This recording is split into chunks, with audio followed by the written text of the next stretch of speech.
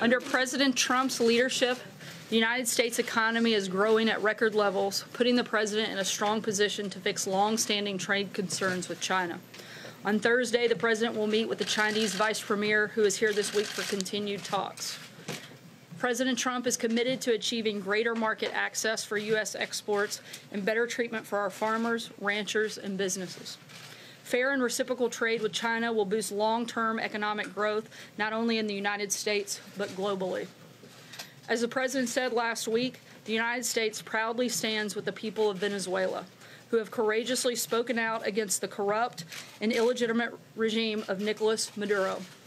Maduro must do what's right and allow for free, fair, and credible elections in accordance with democratic principles.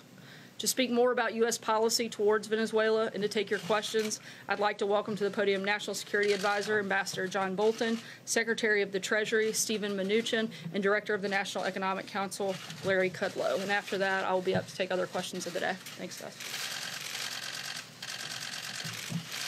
Thank you very much, uh, Sarah. Uh, as you know, on January the 23rd, President Trump officially recognized the president of the Venezuelan National Assembly, Juan Guaido, as the interim president of Venezuela. Venezuela's National Assembly uh, invoked Article 233 of the country's constitution to declare Nicolas Maduro illegitimate. This action was a statement that the people of Venezuela have had enough of oppression, corruption, and economic hardship. Since then, 21 other governments in the region and across the world have joined the United States in recognizing Guaido as Venezuela's interim president. Uh, today, and I'll turn the uh, podium over to Steven Mnuchin for this purpose, we're going to announce sanctions against Petróleos de Venezuela, Sociedad Anima, or PDVSA, as it's known by its Spanish acronym, the state-owned oil monopoly. Uh, we have continued to expose the corruption of Maduro and his cronies, and today's action ensures they can no longer loot the assets of the Venezuelan people. Uh, we expect, and Secretary Mnuchin will go into this in more detail, that today's measure uh, totals $7 billion in assets blocked today, plus over $11 billion in lost export proceeds over the next year. We also today call on the Venezuelan military and security forces to accept the peaceful, democratic, and constitutional transfer of power. And to a certain extent, this has already begun. We have seen uh, Venezuelan official and military personnel heeding this call. The Venezuelan defense attache uh, here in Washington uh, recognized President Guaido a few days ago, and just within the past hours, uh, the first consul of Venezuela's consulate in Miami, Scarlett Salazar, uh, has also declared for interim President Guaido. I call on all responsible nations to recognize interim President Guaido immediately. Maduro has made clear he will not recognize Guaido or call for new elections. Now is the time to stand for democracy and prosperity in Venezuela. I reiterate that the United States will hold Venezuelan security forces responsible for the safety of all U.S. diplomatic personnel, the National Assembly, and President Guaido. Any violence against these groups would signify a grave assault on the rule of law and will be met with a significant response. Uh, now let me give the floor to Steven Mnuchin, who will describe the sanctions that we're imposing. Thank you. Today, Treasury took action against Venezuela's state-owned oil company, PDVSA, to help prevent the further diversion of Venezuela's assets by former President Maduro. The United States is holding accountable those responsible for Venezuela's tragic decline. We will continue to use all of our diplomatic and economic tools to support interim President Guaido, the National Assembly, and the Venezuelan people's efforts to restore their democracy. PDVSA has long been a vehicle for embezzlement, for corruption, for Venezuelan officials and businessmen. Today's designation of PDVSA will help prevent further diversion of Venezuela's assets by Maduro and will preserve these assets for the people of Venezuela where they belong. The path to sanctions relief for PDVSA is through the expeditious transfer of control to the interim president or a subsequent democratically elected government who is committed to taking concrete and meaningful actions to combat corruption. Today's actions against PDVSA follows my determination that persons operating in the Venezuelan oil sector may now be subject to sanctions. Today, OFAC also issued a number of general licenses that authorize certain transactions and activities with PDVSA for limited periods of time to minimize any immediate disruptions and support of ongoing humanitarian efforts. Citgo assets in the United States will be able to continue to operate, provided that any funds that would otherwise go to PDVSA instead will go into a blocked account in the United States. Refineries in the United States have already been taking steps to reduce their reliance on imports from Venezuela. Those imports have fallen substantially in recent months. We have also issued general licenses to ensure that certain European and Caribbean countries can make an orderly transition. We continue to call on all of our allies and partners to join the United States in recognizing interim President Guaido and blocking Maduro from being able to access PDVSA funds. Thank you with that, and I'd be happy to answer some questions. Uh, Ambassador Bolton, if I could, you mentioned the word significant response. How do you define significant response? Well, we're not going to define it because we want the Venezuelan security forces to know how strongly we think that President Guaido, the National Assembly, the opposition, and most importantly, American personnel are not harmed. This is an unequivocal statement on our part. Is there any circumstance under which American forces would get involved? Look, the president has made it very clear on this uh, uh, on this matter that all options are on the table. Thank you, Mr. Secretary. You explained that there are some actions being taken here to mitigate some of the impact on the U.S. oil market. Can you walk us through those and explain uh, how U.S. oil imports from Venezuela will be affected what's going to happen with the money, and where you think that is going to have some impact on the oil market globally? Sure. Well, uh, let me just comment that we will be releasing FAQs with the general licenses to explain a lot of these issues. But uh, effective immediately, uh, any purchases of Venezuelan oil by U.S. entities, money will have to go into blocked accounts.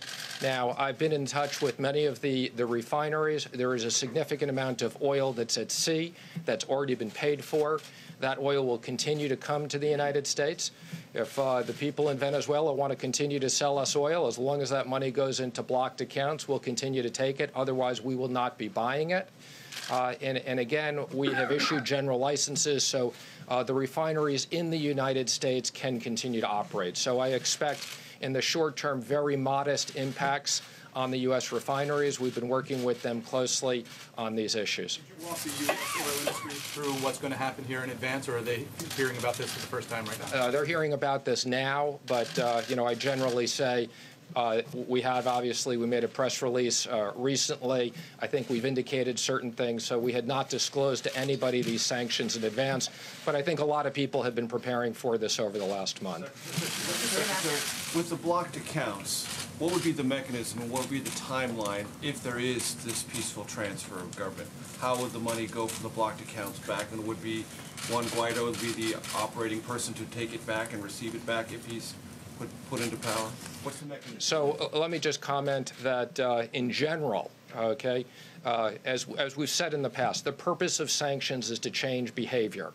So when there is a recognition that PDVSA is the property of the, the rightful uh, rulers, the rightful leaders, president, then, then indeed that money will be available to Guaido. Uh, we will be working with them on the money the, in the blocked account and whether that can be used for them.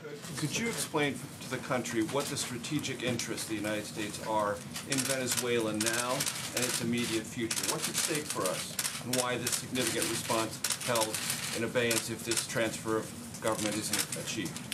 Well, we think stability and democracy in Venezuela are in the direct national interest of the United States right now under the uh, Chavez Maduro government. Civil society in Venezuela is disintegrating. The economy is in a state of collapse.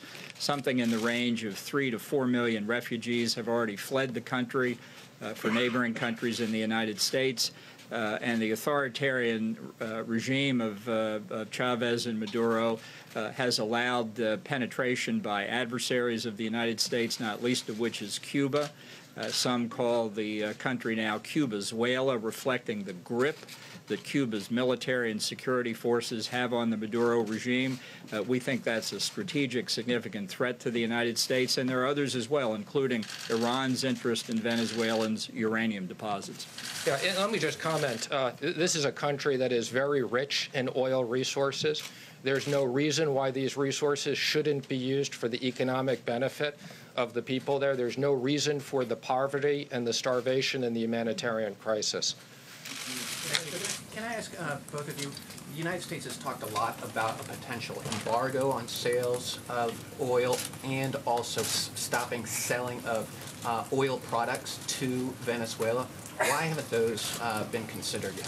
So there will, there will be, as part of this, uh, limitations on selling oil products uh, as, as part of the sanctions. As regards to an embargo, we're not going to make any comment on that today. We don't comment on future actions. Has, has, has the administration talked to Secretary. Thank you, Mr. Secretary. Mr. Maduro seemed to anticipate the actions that you've announced today in the briefing room. He warned that Citgo is the property of the Venezuelan state, and he further said that we are the only ones who can decide its fate. What is your response to Mr. Maduro? Again, it's the, the property of the, the, the Venezuelan people and the proper and, and rightful leaders of, of the country. So we, we agree with that. He's not the proper leader of the country at this time. And I've said these, these are valuable assets that we are protecting for the benefit of the Venezuelan people. So I can hone in on, on the question about the impact on the markets. Um, Eamon asked you about refineries. You said it'll have a modest impact. What do American drivers need to know about the possible impact of the price at the pump, if any at all? Well, first, let me say, you know, uh, there's been a big reduction in the overall price of oil. And uh, particularly since we instituted the Iran sanctions, I think, you know, we've been very careful in making sure that these costs don't impact the American consumer. Uh, gas prices are almost as low as they've been in a very long period of time.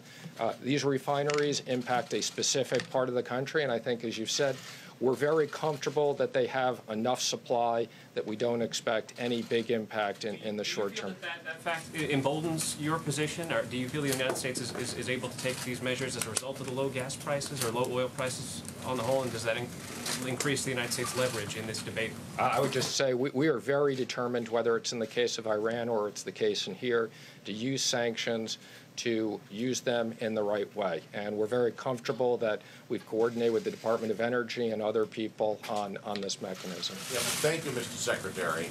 Um, There have been reports that there are an estimated 25,000 Cuban troops in Venezuela, troops or secret police, which is a clear violation of the OAS Charter, Chapter 4, Article 21, about troops of another country in a sovereign nation. Will the United States raise a complaint, if nothing else, with the Havana regime let about Bolton in Venezuela? As you know, uh, Secretary of State Pompeo addressed the OAS General Assembly a few days ago. We expect other meetings of the OAS on this and related subjects uh, in the coming days uh, because, as uh, both Secretary Mnuchin and I have said, we know what the legitimate government of Venezuela is. And it's our mission now to make a full reality in, in uh, Venezuela what the people of Venezuela themselves want. Do you have confirmation of that number? confirmation that, since that's correct, we have you uh, in the room here, if you don't mind me turning your attention to the talks that'll take place at the end of this week. A statement was put out just before you came uh, out here, the talks with China. In your opinion, where does all of that stand right now? Are you comfortable with uh, progress that's been made in the last couple of weeks? Larry Kudlow has said uh, that the talks over the next couple of days will be determinative. Is, is that your assessment as well? I, th- I think we've had very productive uh, conversations going back between the meeting between the two presidents, which was a very important time. I think you know we sent a team over to Beijing. Uh, there were very significant discussions for that period of time. We've had conversations since then. Ambassador Lighthizer and I are, are looking forward to the two day of talks Uh, President Trump is going to meet with Vice Premier Liu He at the end of those. Now, let me just remind people, we do have another 30 days after this, so my expectation is that uh, we'll make significant progress at these meetings, but I would just emphasize these are complicated issues. We have a timeline of how we've mapped out the 90 days. How much progress has been made in the last month, if, if you can sort of characterize it? Again, I, I would just comment that I think I think there's been significant movement, and uh, we're working through what are still very complicated issues. Mr. Secretary, Mr. Secretary, um, I want to go back to gas prices. Um, can you qualify and quantify? I understand that you're saying the gas prices are, are low now, but um, in the midst of this, with all of this that's happening with Venezuela, how long do you believe that this will, the gas prices will move up to a modest um, impact on the oil industry? And can you quantify by how much?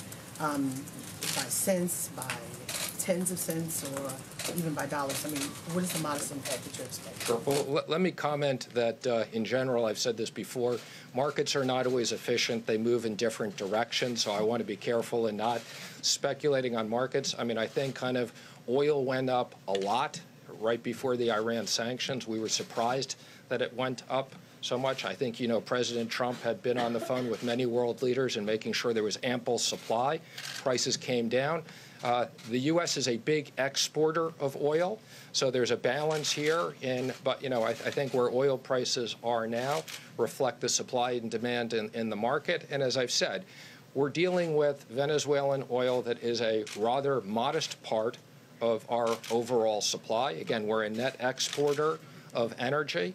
Uh, we are particularly concerned that there were a handful of refineries that had a dependence on Venezuelan oil.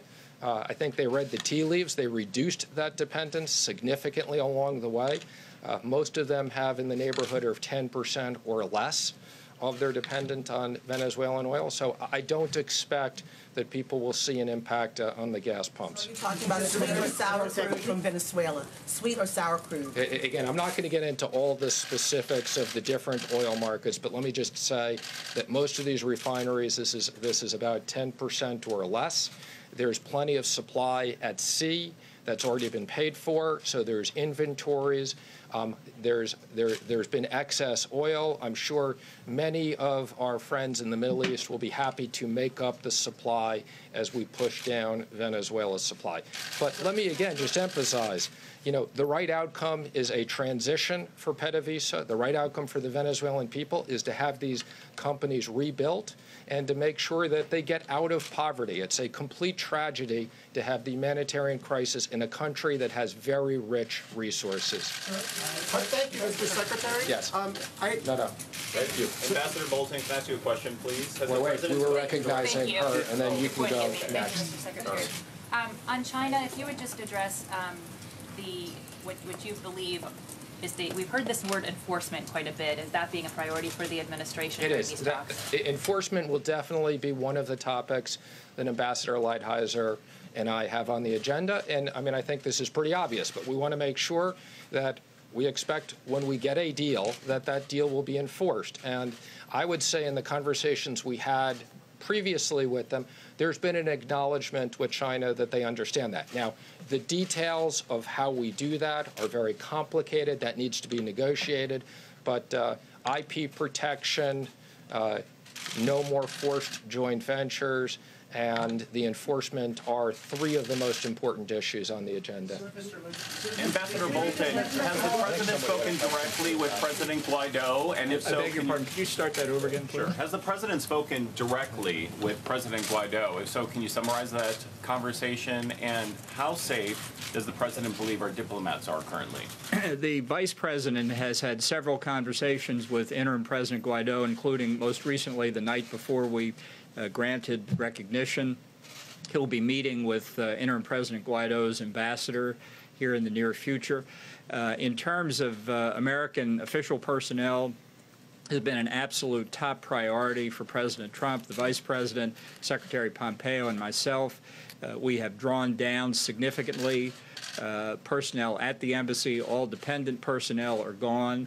Uh, we believe we are now prepared, uh, as prepared as we can be. We're reevaluating the safety conditions at all time, and it's why we have said we've presented credentials to interim President Guaido. We recognize him as the legitimate president. Uh, he has asked for us to stay. We have made very clear to what's left of the Maduro regime that we hold them responsible and we take their commitment to do that very seriously. In, in the back. Yes. Ambassador Bolton, if I may ask you, what is your assessment of uh, the relationship between Nicolas Maduro and his military? Do you believe support is fracturing? And do you believe that the Russians are playing any kind of role in trying to support the military? Well, our assessment based on uh, numerous contacts on the ground is that the rank and file of the Venezuelan military uh, is acutely aware of the desperate economic conditions in the country. Uh, and we think they look for ways to support the National Assembly government. We think the junior officer ranks and the mid-level officer ranks are the same. And we are also aware of significant contacts uh, between uh, uh, general officers of the Venezuelan military and uh, supporters of the National Assembly. So you may have seen a statement last week by the defense minister, Vladimir Padrino, uh, flanked by a number of generals in uniform. What they didn't know was how many of them were already talking to the National Assembly. Okay. We'll take, we'll take one more here. Twofold. Do we have a timeline where we're going to reassess as to whether or not these sanctions are working and what the next step would be? Is there a timeline in place for that? And secondly, can you speak to the administration's critics who say that since the government shut down, the administration is in disarray? Well, let me first say, uh, we, on sanctions, we always evaluate sanctions continuously, both existing sanctions as well as future sanctions. So we will carefully be looking at the effectiveness of these and whether we need additional sanctions. Now, I I would just tell you, speaking for Treasury, uh, I want to thank uh, all the, the, the large number of government workers who came in.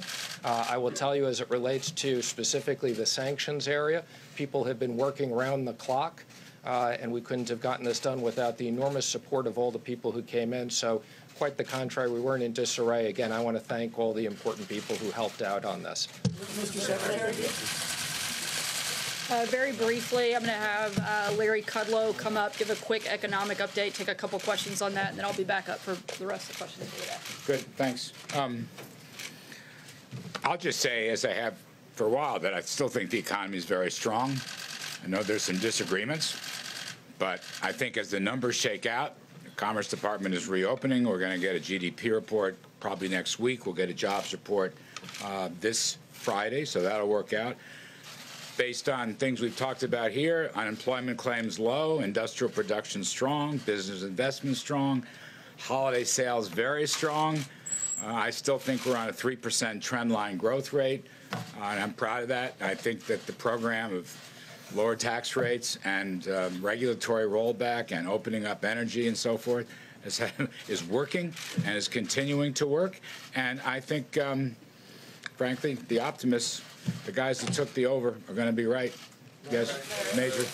Do you consider valid the estimates that the shutdown cost the U.S. economy between $8 billion and $11 billion? You know, I looked at them. I think you're referring to CBO numbers that came out today. Um, we frequently disagree with CBO. With all respect, they're doing the best job they can. I get that. Uh, no, I don't. I won't acknowledge any of that right now. And you know, in a, in a 20 trillion dollar economy, it's awfully hard to make even the best guesstimates of those kinds of small fractions of numbers. That's what you're looking at here. Let's see how it rolls out. We'll, we'll get a GDP report in about a week for Q4. Uh, it'll take longer for the first quarter. As I've said many times, I, I think you have just a whole bunch of very temporary factors. And now that the government is reopened, uh, the switch goes right back on. There's certainly no no no permanent uh, damage to the economy. Larry. So I just, again, with the greatest respect to my friends at CBO who often disagree with us and do not acknowledge the importance of our pro-growth tax cuts, just to put an editorial in, no, I don't really agree. Sorry. Can I follow up and just say, from your economic perspective, how disruptive was this? Not at all? Look, the hardships for individuals was always the key problem here, in my judgment. And as Steve Mnuchin said and others, you know, I'm glad we're back to work. I'm glad all the federal employees, I'm glad all the people furloughed, TSA, you can go right down the line. I, I think those individual hardships were the biggest issue. And I think everybody's glad we can reopen and put folks back to work. Regarding the macroeconomy major, I, I don't think it was a factor.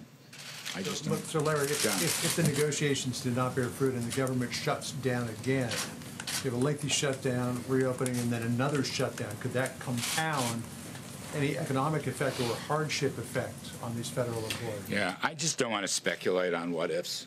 We've, we've got a process laid out here. Let's see if it bears uh, fruit. I, I just don't want to speculate on any of the what ifs. Again, the, you know, that the state of the economy to me, my colleagues, uh, Kevin Hassett and so forth, looks very strong. And I don't think that was disrupted. I don't. I know things have been written in their individual hardship cases. Again, I'll, I'll repeat that. But in the aggregate, you know, the numbers we saw, low unemployment claims, unbelievably strong same, uh, same store retail sales, the industrial production number from the Federal Reserve, where business equipment went up for the seventh straight month. Just a scattered look at all those kinds of data points suggests to us that we're still in a very strong mode right now. And I use the, you know, 3% as our longer term view, but I also think it's going to pan out in the short run. So we will see. Yes. The Chinese talks this week, is it possible we'll see the framework for a deal emerge? Uh, I don't want to say anything on that. Uh, Secretary Mnuchin's correct. Um, I don't want to make any predictions on that. These are very difficult, very, very important. The only comment I'll make is, and I've said this before, the scope of these talks will be the broadest and deepest in U.S. China history. We've never had anything this comprehensive, and I regard that as a, as a big plus. How these things are worked out, we'll have to wait and see. The president has expressed some, I would say, guarded optimism about the talks. Um, Liu He is coming with his top people, and that's very important, and our top people will be negotiating. But it's encouraging to me that everything is on the table. I know that's a cliche in other areas, but in trade talks it is too. Having said that, I do want to reiterate, I don't recall whose point it was, um, enforcement issues will be very important. And I know Ambassador Lighthizer has said that, and it's a key part of this discussion. Yes. Yes, sir. Uh, Do you favor government contractors who are furloughed also getting back pay? Um, I'm not sure how. s- Some of them do. I think the defense-related ones will, but I'm not sure. I'm not an expert on that. I'd have to. I'd have to go and check that. I'd have to take a look at the scope of it. I honestly don't know. Yes. Larry, and I want to get back to the, the CBO because they also looked at projections over the next decade in which they said the deficit for fiscal year 19 is going to be roughly 900 billion, starting in 2022, trillion dollars year after year after year after that. Um, 2029, 93% debt to GDP, and they say it is simply unsustainable, the path that we're on. Does the White House agree with that? And if it is unsustainable, is the White House planning to do anything to change it? You know, we have a, fundamental disagreement with that agency regarding the growth outlook. Economic growth is the single biggest factor in compiling any of these numbers. So they have had a very low growth estimate in response to Trump policies on taxes and, and deregulation, and we've had a much higher one. Um, about a one percentage point differential, more or less. We're at three, they're at two, more or less. So the differential over 10 years is very significant. You know, it could be as much as three and a half trillion in deficit reduction if we are right. All I'm saying is that in the first two years of the Trump administration, uh, our view has essentially been correct, and their pessimistic view has essentially not been correct. Now, again, I'm not here to uh, you know rail on against CBO. They have a point of view. We have a different point of view. They're professionals, and I respect that. But that's the single biggest uh, difference. Now, I, I would say one other matter. Um, we anticipate a very strong, tough budget coming out to hold down spending. President has talked about this. At least 5% reduction in the non-defense accounts across the board, and I think that's going to help. And then finally, my own view has always been economic growth is absolutely essential to reducing the deficit share of GDP, which is the burden on the economy. And if you look at our numbers, uh, which are moving somewhat but not enormously, we anticipate a much lower de- uh, deficit share of GDP. And that's probably another reason we disagree. Amen. Thank you, Larry. Uh, Today, both Caterpillar and NVIDIA said that a slowdown in demand in China is negatively impacting their businesses. Is the administration at all worried that it's putting too much pressure on the Chinese economy and that it could boomerang and negatively impact the U.S. economy? That is, a slowdown there could spread to a slowdown here? Well, look, we're, you know, we're, the kind of trade openings that we're talking about uh, and other structural factors are all pro-growth. Every one of them. We, if, if the trade negotiations, you know, turn out positively insofar as lower barriers, let's say, and uh, you know, much better treatment of private property rights, and um, as Steve Mnuchin said before, very important, ending the forced transfer of technology, things like that. Look, we will export. I believe this strongly. United States, give us, give us, give our people the, the, the chance to sell to China. We will export a ton. Our export sales will roar, roar, and it'll be much greater if they open their markets. And that's going to help China's economy, and it's going to help our economy. I've always believed that. And you know, the question here is fairness and reciprocity, as the president has emphasized. I completely agree. But it's also a matter of economic growth. Lower barriers. You know, United States, my judgment, is the most competitive economy in the world today. We are the hottest economy and the most competitive economy. I think the Davos survey just pushed us back to the number one spot. I'm proud of that.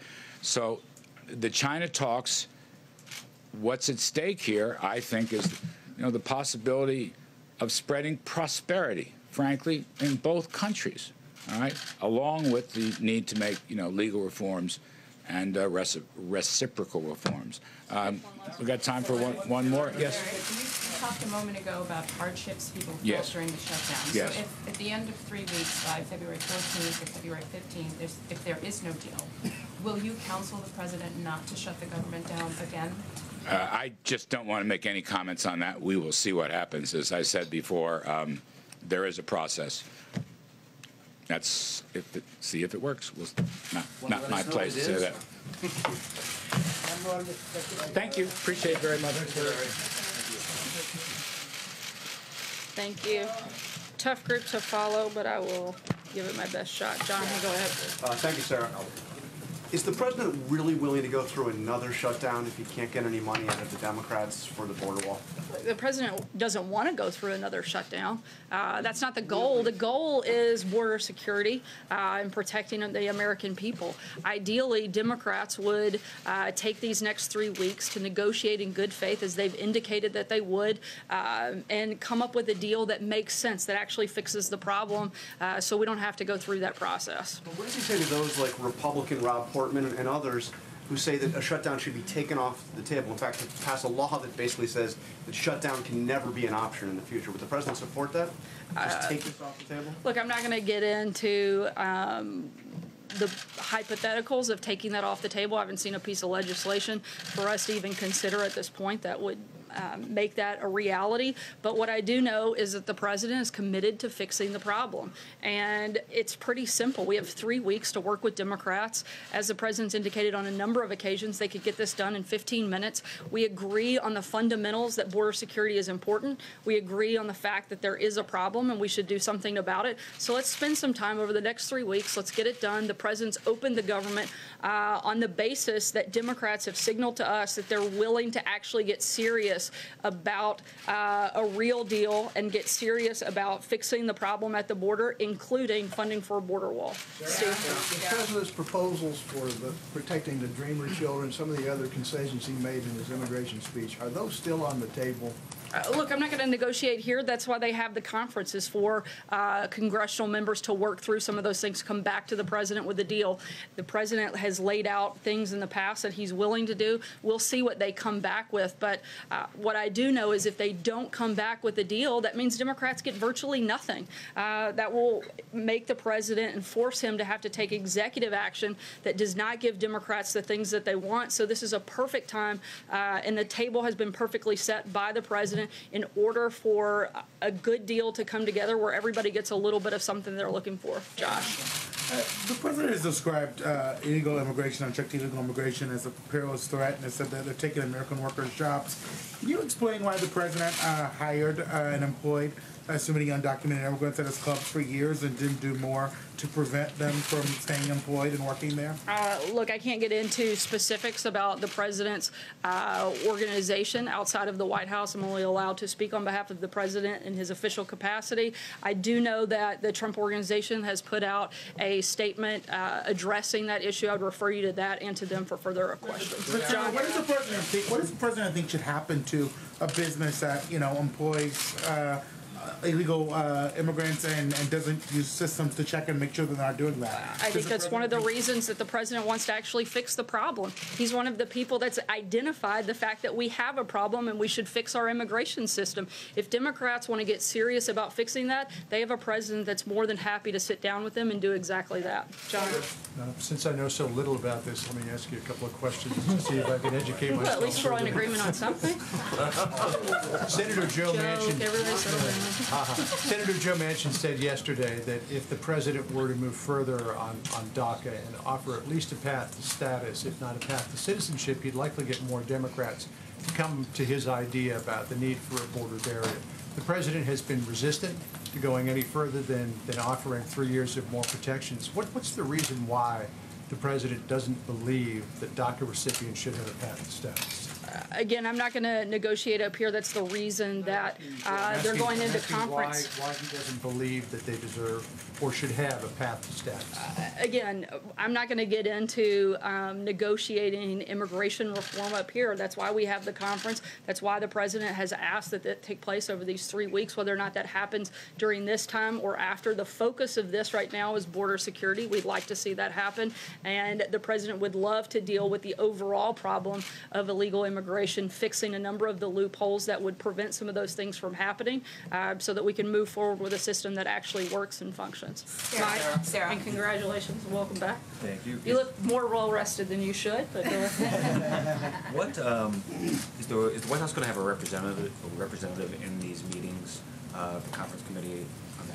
Uh, I'm not aware of a specific uh, White House attendee that would participate. Certainly we'll be engaged with uh, members across the board, both those that are part of the conference as well as the back and forth that'll take place before and after. What's your data point here that? But we'll keep you posted when White House is in attendance. Okay, what's your data point here on, on, on the idea that Democrats are ready to, as you say, get serious about immigration reform? What, wh- what is the signal that the president specifically got from Democrats? We've had a, a number of Democrats that have both publicly stated uh, support for border security, including a wall, including barriers. We've also uh, had a lot of private conversations in which Democrats have signaled their willingness, if the government is open to sit down and negotiate.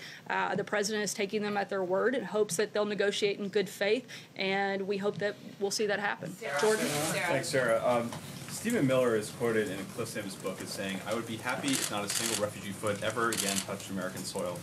Is the policy of this administration to eventually get refugee resettlement down to zero? Uh, I'm not aware of any statement like that that Stephen Miller has ever made, and certainly not the policy of the administration. Sarah, is the president is the president going to have his physical exam soon? Um, the president will, uh, as always, undergo a yearly physical exam. We'll keep you posted on the date and time when that happens. April? Sarah, um, two questions. One, I want to go back to what Darlene asked, um, Larry Kudlow, and I'm going to ask it in a different way. Can this economy sustain another? Do you mind speaking up? I'm sorry. I'm, s- I s- I'm going back to what Darlene asked, um, with Mr. Kudlow. Can this economy sustain with another government shutdown? Again, as I, as I told Jonathan, we don't want another government shutdown. We want a deal that actually addresses border security. It seems like it should be so simple. We're all in agreement that we need it. We're all in agreement that there's a problem, so let's fix it. So we don't have to go through that process again. Can the economy, Larry Kudlow was very hopeful and optimistic, even though the numbers show otherwise. Actually, the numbers don't show otherwise. The numbers show that we have an incredibly strong economy. The numbers show uh, that jobs continue to grow, wages continue to rise, unemployment continues to drop. The numbers are actually uh, very much in the favor of the things that Larry laid out. Um, again, do we want another shutdown? No, but the president and his team have focused on long-term economic stability, long-term economic fundamentals, and we think that if we had to, we could sustain that, but certainly we don't want to. That's not the goal. My last question, my last question. My- Go ahead. said two- yeah. So, um, there are several people that are now indicted, um, that have some kind of connection to either the campaign or the president. Have these people tried to make contact with the president via their mutual friends? I- I'm not aware of any contact from those individuals. John? Thanks a lot, Sarah. On the State of the Union address, it was supposed to take place tomorrow night. Uh, I know that uh, House Speaker Pelosi said that uh, she would extend an invitation to the president once the government has reopened. It's reopened. Uh, Has she extended an invitation to the president? Do you believe, Sarah, that uh, she's acting in good faith in this regard? Uh, I certainly don't think she acted in good faith on the front end, uh, considering she cited security concerns that didn't exist. But we're certainly hopeful that moving forward in the future, that she will. The president, as he always does, looks forward to addressing the American people, and um, will do that as soon as that invitation is received. Francesca? Mark, if Sorry, could- go ahead. If I could, Sarah, um, do you expect her to extend an invitation to the president in the course of this three-week window uh, while negotiations are ongoing? Uh, That's a better question for Speaker Pelosi. Francesca? Thank you, Sarah. You're not exactly ruling out another shutdown, and many federal workers who came back today are concerned that there could be another shutdown. What's your advice or message to them in this three weeks? Should they be saving their money? Should they be concerned that they might not get another paycheck so soon? My advice would be to call your Democrat members of Congress and ask them to fix, ask them to fix the problem so that we don't have to continue uh, having this process and so that we actually secure the border and protect American citizens. On the Steve? same, on the same subject, Sarah, the president tweeted over the weekend and said that he made no concessions whatsoever. But influential conservatives are saying that he has made concessions in this because he originally said that he would not sign any legislation that did not include money for the border wall, and then he went ahead and did that. And granted, it only keeps the government open for the next three weeks. He said he wouldn't do that either. And so, how can the president say that he made absolutely no concessions to Democrats on this legislation? Uh, because the negotiations are still ongoing, and I would argue uh, that conservatives that actually have influence have uh, supported the president throughout this process. They believe in border security, they believe in protecting Americans, just like the president, and they stand with him. Again, uh, this is a simple fix. It's easy for Democrats to sit down and come to an agreement and work with us to get border security. Yeah, thank you, Sarah. Um, The president has spoken increasingly of declaring a state of emergency after February 15th and uh, using funds already there for the building of the wall under the aegis of national security and homeland security. Uh, Several conservatives who are normally supporters of the president warn not to go in that direction, that it would create too many problems with federal authority interceding with state authority. Uh, President Bush in 2005 wouldn't declare a state of emergency over Katrina because he did not want to get into that argument with governors. Um, Has the president considered this and the criticisms and warnings of fellow Republicans, notably Senator Blunt of Missouri?